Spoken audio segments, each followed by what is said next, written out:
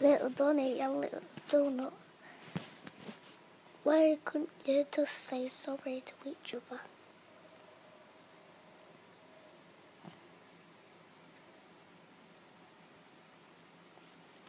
You're being sad. Bye.